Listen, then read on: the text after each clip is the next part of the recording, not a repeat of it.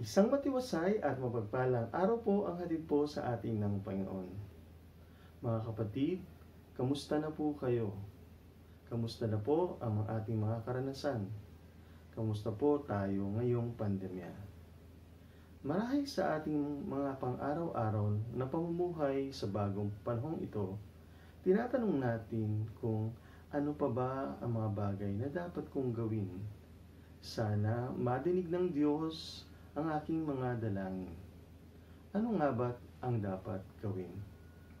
Mga kapatid, sa ating Ebanghelyo, tayo po'y ginagabayan ng Panginoong Yesus sa tunay na dapat nating magawa o gawin.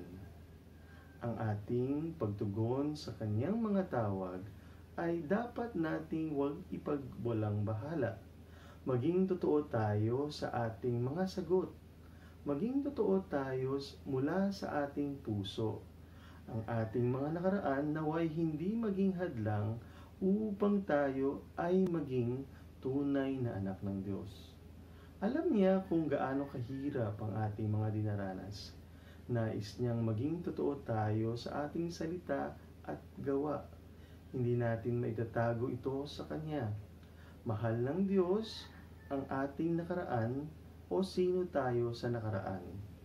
Ang napakahalaga sa panahong ito ay makita niyang tayo'y tumatayo, tumitindig at naninindigan upang ipagpatuloy ang ating buhay. Bilang anak ng Diyos, ito ang ating ugnayan sa Kanya. Kaya aking minamahal na kapatid, ngayong linggo, ano nga ba ang mga bagay na ipagpapatuloy mo upang ipakita sa Panginoon ang iyong yes, I will and follow you, dear God. Muli, ako po si Father Randy Arca.